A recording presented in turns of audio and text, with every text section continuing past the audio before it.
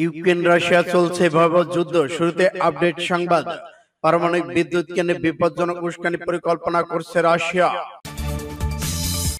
আরো বিস্তারিত জানিয়ে দিব জেনে ইহুদবাদী অফিসার নিহত সেনা প্রত্যাহার শুরু করেছে ইসরায়েল ব্যর্থ বিদ্রোহের পর যে বার্তা দিলেন অগানার প্রধান আরো জানিয়ে দেব সাংহাই কো অপারেশন অর্গানাইজেশন বৈঠকে মোদী পুতিন ও শি জিনপিং অশান্ত ফ্রান্সে শান্তির ডাক দিলেন বিশ্ব ফুটবল তারকা এমবাপ্পে রাশিয়ার মিগ থার্টি ওয়ান যুদ্ধমান ভয়াবহ বিধ্বস্ত জেনিনের পর এবার গাজা উপত্যকায় ভয়াবহ বিমান হামলা ইসরায়েলের এবং সর্বশেষে জানিয়ে দেব ইউক্রেন যুদ্ধে ভয়ানক নতুন কৌশল রুশ বাহিনী পুতিনের ভিডিও ভাইরাল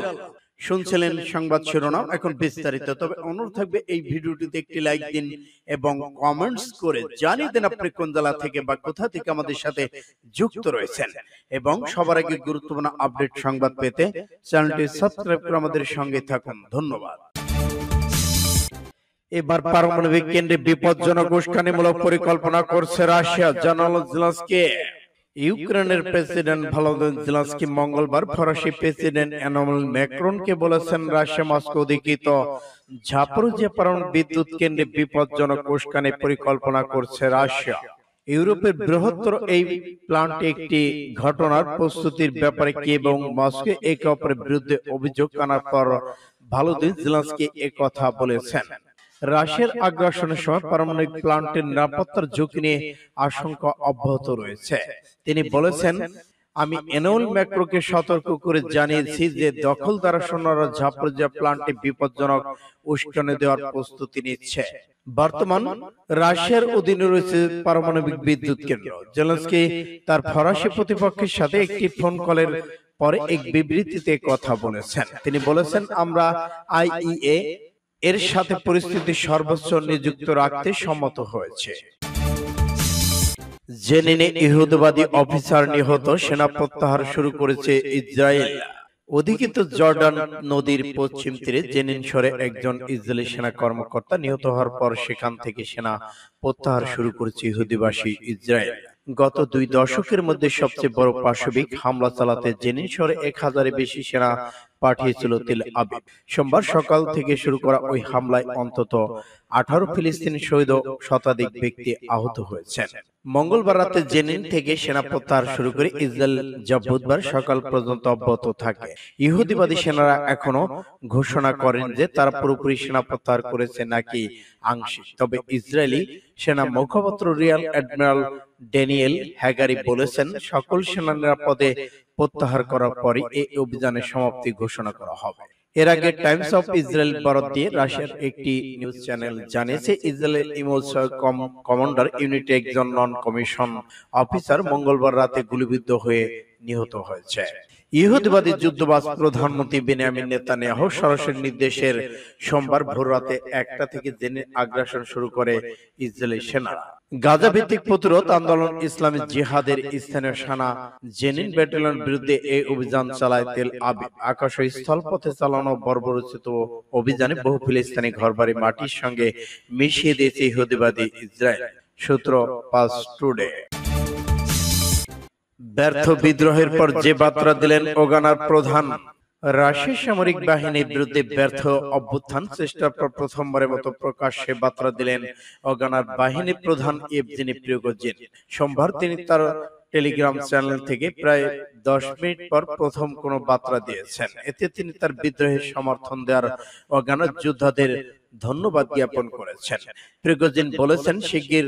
রাশি ফ্রন্টলাইনে বড় জয় পাবে ধন্যবাদ আপনাদের তবে এই ফ্রন্টলাইন দিয়ে তিনি ইউক্রেনের ফ্রন্টলাইন বুঝিয়ে নাকি তার বিদ্রোহের কথাই এখনো বলে যাচ্ছেন তাই স্পষ্ট নয় প্রিগোজিন বলেন শীঘ্রই রাশিয়া ফ্রন্টলাইন জয় পাবে আপনাকে ধন্যবাদ তবে এই ফ্রন্টলাইন দিয়ে তিনি ইউক্রেন ফ্রন্টলাইন বুঝিয়েছেন নাকি তা বিদ্রোহের কথা এখনো বলা যাচ্ছে না তাই স্পষ্ট নয় নিউইয়র্ক পোস্টে খবর বলা হয় বর্তমান বেলারুশ নির্বাসিত প্রিগোজিন টেলিগ্রামে একটি অডিও বার্তা দিয়েছেন এতে তিনি তার বিদ্রোহকে আবারও মার্চ অফ জাস্টিস বলে আখ্যায়িত করেছেন বাত্রা তিনি দাবি করেছেন তিনি রাশিয়ার সামরিক বাহিনীতে থাকা বিশ্বাসঘাতকদের উৎখাত করতে এবং রুশ সমাজকে গতিশীল করতে ওই বিদ্রোহ করেছিলেন তার ওই বিদ্রোহের যারা সমর্থন দিয়েছেন তাদেরকে ধন্যবাদ জানান তিনি গত মার্চের শেষ দিকে মস্কোর উদ্দেশ্যে পঁচিশ হাজার সেনার যাত্রা শুরু করেন পিগোজিন তিনি বিদ্রোহের কথা অস্বীকার করলে রুশের সামরিক বাহিনীর শীর্ষ কমান্ডারদের উৎখাতের কথা স্পষ্টভাবে ঘোষণা দেন সাংহাই কোঅপারেশন অর্গানাইজেশন বৈঠকে মোদি পুতিন ও Xi Jinping Shanghai cooperation organisation SCO এর বৈঠক শুরু হয়েছে ভারত এবার এসএসসিও চেয়ারম্যান বেশে কয়েকটি কারণে এই বৈঠক এবার বাড়তি গুরুত্ব পাচ্ছে অগানা বিদ্রোহের পর প্রথমবার এ ধরনের বৈঠকে যোগ দিতে রাশিয়ার প্রেসিডেন্ট পুতিন বৈঠকে আছেন চীনের প্রেসিডেন্ট শি জিনপিং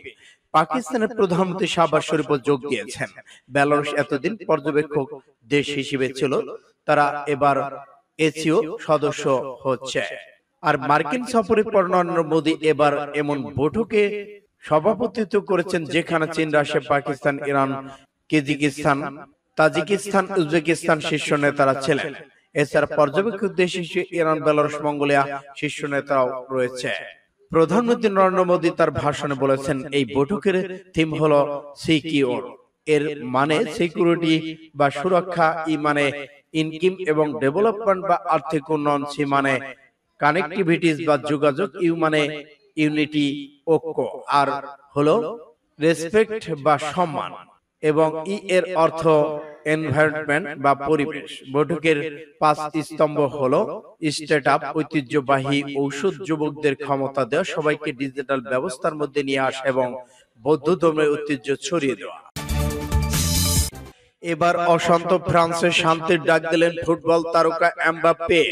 ফ্রান্স জুড়ে দাঙ্গা বন্ধের আহ্বান জানিয়েছে একটি বিবৃতি দিয়েছেন দেশটির ফুটবল তারকা কিলিয়ান এমবাপ্পে বিশ্ব কাপ জয় এই ফুটবলার টুইটারে করা এক পোস্টে বলেছেন এই সহিংসতাকে অবশ্যই বন্ধ করতে হবে এছাড়া তিনি তার ইনস্টাগ্রাম স্টোরিতে সহিংসতা বন্ধের আহ্বান জানিয়েছেন এতে তিনি লিখেছেন সহিংসতা কোনো সমাধান হতে পারে না ফ্রান্সের সব মানুষের মতো আমরাও কিশোর নাহেলের মৃত্যুতে স্তব্ধ প্রথমত তার পরিবার জন্য আমাদের সমবেদনা অবশ্যই এ ধরনের অগ্রহণযোগ্য মৃত্যুতে আমরা সংবেদনশীল না হয়ে পারি না এই ঘটনার পর আমরা জনসাধারণের ক্ষোভের প্রকাশ দেখতে পাচ্ছি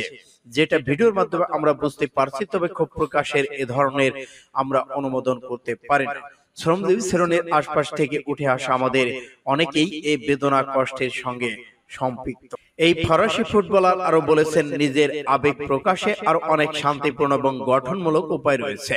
আমাদের শক্তি চিন্তাকে অবশ্যই আরো কেন্দ্রীভূত করতে হবে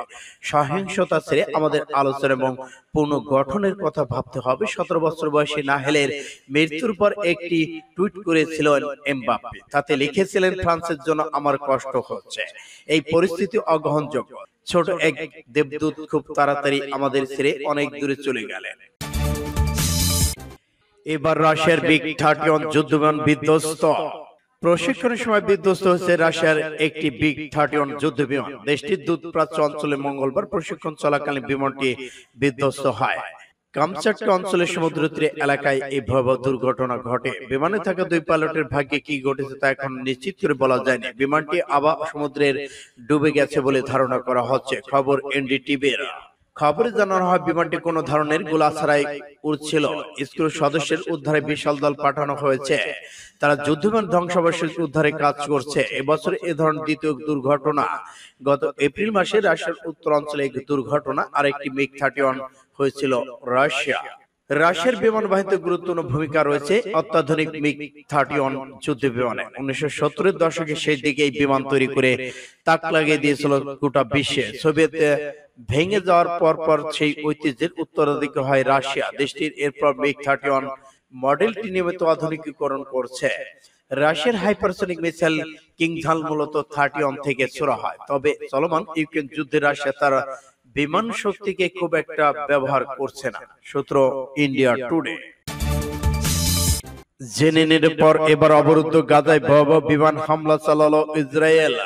ফিলিস্তিনে পশ্চিম তীরে জেনিনের পর এবার গাজা উপত্যকে বিমান হামলা চালানো শুরু করেছে ইসরায়েল বাহিনী তারা বলছে ফিলিস্তিনের উপকূল সিটমহল থেকে সরান রকেটের জবাবে এই হামলা চালানো হয় খবর বিবিসির ফিলিস্তিন নিরাপত্তা সূত্র জানায় উত্তর অঞ্চলে হামাসের একটি সামরিক স্থাপনায় বিমান হামলা চালানো হলে কোনো ক্ষয়ক্ষতি হয় ফরাসি বার্তা সংস্থা এপি জানায় ইসরায়েল সেনাবাহিনী বলেছে রকেট হামলার জবাবে ইসরায়েল ডিফেন্স ফোর্স বর্তমান গাজা উপত্যকায় হামলা চালাচ্ছে গত সোমবার প্রায় চোদ্দ হাজার ফিলিস্তিনি বাসস্থান ছেড়ে জেনি শরণার্থী শিবিরে ছেড়ে অদূরে চলে যায় এরপর হাজার হাজার সৈন্য পাঠায় ইসরায়েলি বাহিনী অভিযানে প্রতিবাদ পশ্চিম তীরে ধর্মঘটের ডাক দেয় ফিলিস্তিনি কর্তৃপক্ষ শরণার্থী শিবির থেকে তিন হাজারের বেশি ফিলিস্তিনিকে স্থানীয় হাসপাতালে সরিয়ে নেওয়া হয়েছে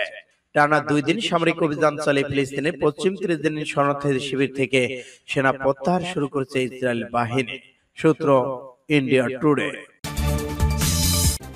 ইউক্রেন যুদ্ধে ভয়ানক নতুন কৌশল রুশ বাহিনীর ভিডিও ভাইরাল গত বছরের চব্বিশে ফেব্রুয়ারি সাবেক সোভিয়েত ইউনিয়নের দেশ ইউক্রেন বিশেষ সামরিক অভিযান নামে আগ্রাসন শুরু করে বিশ্বের দ্বিতীয় বৃহত্তর পরাশক্তি রাশিয়া এরই মধ্যে পনেরো মাস পেরিয়ে গেছে যুদ্ধের দীর্ঘ এই সময় যুদ্ধক্ষেত্রে কৌশল ব্যবহার করেছে রুশ বাহিনী যেগুলো কিছু সফল হয়েছে আবার কিছু ব্যর্থ হয়েছে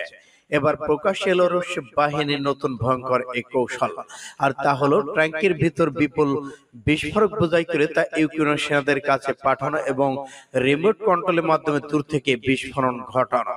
রুশ বাহিনী ব্যবহৃত এই কৌশলে একটি ভিডিও সামাজিক যোগাযোগ মাধ্যমে